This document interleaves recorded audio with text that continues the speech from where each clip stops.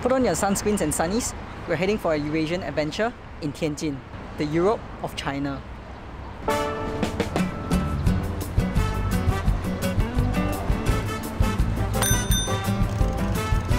Tianjin is located in the northeast of China, and in the 1860s, it served as a port city for foreigners arriving into China as well as a gateway into Beijing. During that time, many government officials from Europe visited the city, influencing its culture, architecture, and food. Because Tianjin is located approximately 131 kilometers from Beijing, most locals travel here from Beijing as an escape from the bustling city. There are many ways to travel from Beijing to Tianjin, but the most popular options are by trains or airplanes. Because it's affordable and doesn't require the hassle of going through airport customs, we chose to travel by the high-speed rail, departing from Beijing South Station. Plus, the journey only takes half an hour. Immediately after stepping out of the train station, you'll be greeted by the riverbank as well as various Western architecture. Besides that, Everything from street signs, cobblestone pavings, quiet alleys, statues, and monuments will make you feel as though you're in Europe. And if you explore the city for quite a bit, you realize that the city operates at a slower pace compared to Beijing. So even though it's just a few kilometers away, it has a very different vibe to it.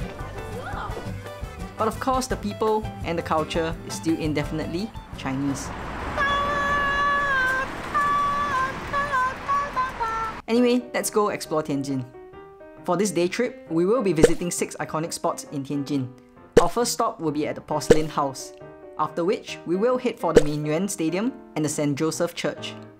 Next, we will explore the Italian town in Tianjin before visiting the ancient cultural street. Finally, we will stop by the Tianjin Eye before spending the remaining hours in Tianjin along the river promenade. Having studied in the force of architecture, I've always found the union between traditional and contemporary styles very interesting. When done well, it can be like the Starbucks in Kyoto, where traditional Japanese townhouse meets the international coffee giant. Our first destination is a sexy looking building, exactly that. The Tianjin Porcelain House combines European elements with Oriental ceramics. Colorful ceramic vases, bowls, plates, and even cats are fossilized onto the building, as though time has been frozen for these objects. Um, yeah, including that car. But the admission fee cost about 10 bucks, and considering that it's quite a small building and it will be packed full of tourists, I'm not sure if I want to pay to squeeze. I believe if you want to visit a touristy spot, you should always put in the effort to wake up early. If not, you're gonna get caught in a wave.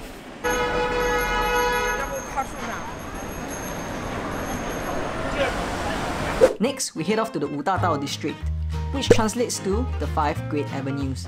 This area is known as the World Building Exposition, showcasing various architecture styles of English and European influence.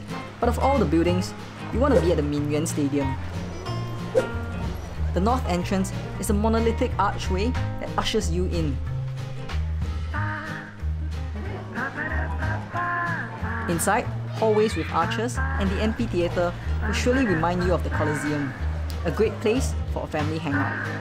I've always wanted to visit the Colosseum in Italy, but seeing how travel is not possible now, I guess I'll settle for something similar. Under the stadium, there is also an atrium that houses several shops.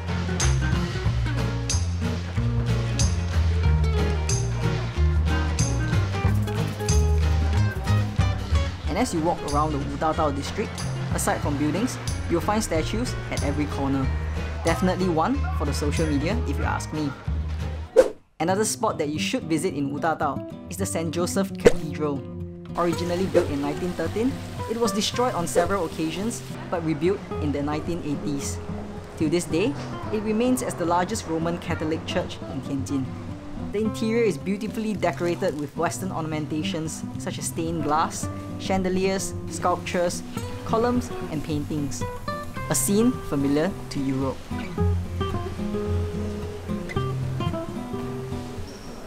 For our last European setting, we made it to the Italian district. It offers many different areas connected with alleys that converge into the main central plaza. If you're looking for some Western food, this is the place for you. With a wide variety of bars and restaurants serving delicious food and drinks, you'll be spoilt for choice. But a hint of warning, as it is a touristy spot, the price can be, how should I say, quite arousing. The Italian town is sort of an artsy-fartsy area, filled with tiny corridors, sculptures, as well as interactive arts.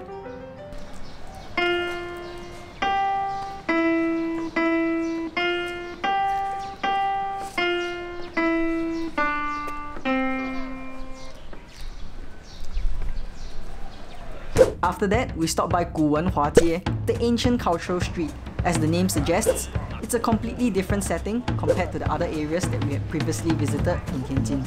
Filled with rows of traditional shop houses, this place is packed with many street snacks and souvenirs.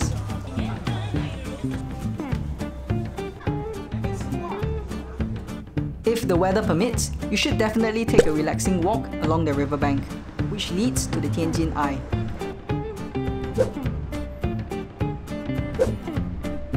Here, the water is so clean that you can see people swimming in the river. I know it seems weird to most foreigners, but I think it's just the way of life here. The riverbank area kind of reminds me of Singapore and Adelaide, calm and peaceful. A great spot to relax and appreciate the unemployed life.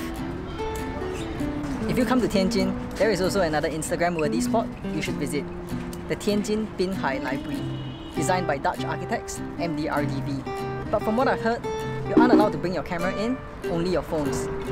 And since my phone sucks, I guess not. Plus, it's far from the city centre, so I'll give it a miss. Like many water cities around the world, there are bridges that span across the river, connecting the city and creating quite a view. But to me, the real magic of Tianjin happens at night. As dusk approaches, the entire city lights up. Buildings, bridges, river, and promenade all come to life.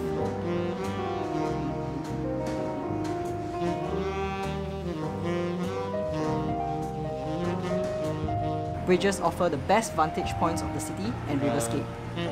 The promenade by the river also turns into a public performance space. And finally, we arrived at the large plaza at the south entrance of the train station, just beside the river promenade, and we bid farewell to the beautiful city of Tianjin.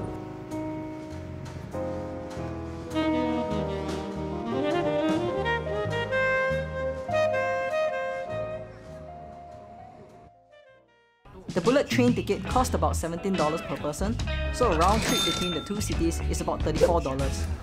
And because Tianjin is a tourist attraction city, there are many English signs everywhere, so getting around won't be a problem at all.